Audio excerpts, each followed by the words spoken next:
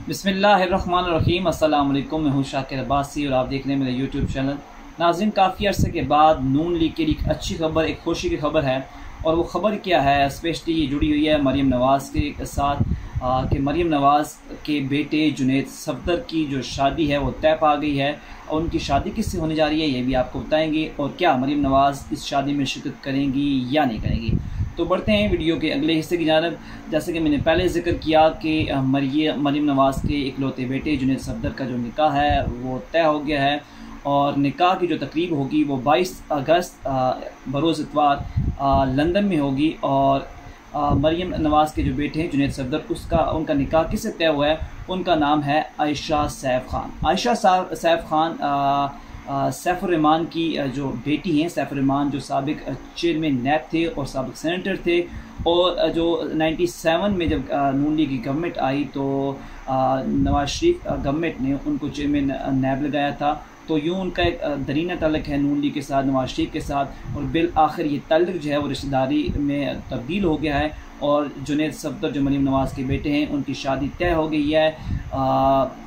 सैफ रमान की बेटी आयशा सैफ खान के साथ। 22 अगस्त को ये शादी लंदन में होगी, लेकिन अनफॉर्चुनेटली इस शादी में ना तो मरीम नवाज़ शिरकत कर सकती हैं और ना ही जो मरीम नवाज़ के हस्बैंड हैं कैप्टन रिटायर्ड सफदर, वो इस शादी में शिरकत करेंगी। आ, उसकी वजह ये क्यों नहीं शिरकत कर सकते? तो उनकी उसकी वजह ये है कि मरीम नवाज़ और कैप्टन सफदर का जो नाम है वो ई सी एल में है और इस ई सी एल में नाम होने की वजह से वो इस शादी में शिरकत नहीं कर सकते।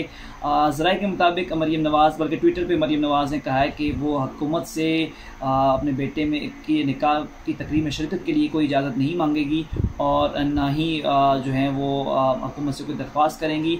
वो ऑनलाइन ही इस जो तमाम तर तकरीबा होंगी इसमें शिरकत करेंगी। लंदन में जो तकरीबा होंगी निकाह की, उसमें मरीम नवाज़ के जो वालद हैं, नवाज़ शरीफ ख़ुद होंगे साथ साथ उनके भाई जो होंगे, हसन और हुसैन, इसके अलावा आबद शेर अली इसके अलावा मरीम नवाज़ की जो छोटी बहन है, असमा नवाज़, इसके अलावा साग डार और उनकी फैमिली, इसके अलावा सलमान शहबाज भी लंदन में ही है। तो ये तमाम तर लोग लंदन से ही शिरकत करेंगे। अलबत् मरीम नवाज़, इसके अलावा कैप्टन सफदर शबाज शरीफ और हमदा शबाज इस निकाह में शिरकत नहीं कर सकेंगे। जो बदकस्मती है कि ये शादी की जो निकाह की तकरीब है, इसमें शिरकत नहीं कर सकते। तो यूनियन नून लीग के लिए एक अच्छी खबर थी कि उनके यहाँ काफ़ी अर्से बाद जो है वो खुशी लौटी है और बिल आखिर जो मरीम नवाज़ के इकलौते बेटे हैं, जुनेद सफ्तर उनका निकाह तय हो गया है। जैसे मैं अर्ज़ कर चुका हूँ कि सैफरमान चेयरमैन जो नैब थे सबक उनकी बेटी आयशा सैफ रहमान के साथ उनका निकाह तय हुआ है और निकाह की तकलीफ़ बाईस अगस्त को लंदन में होगी।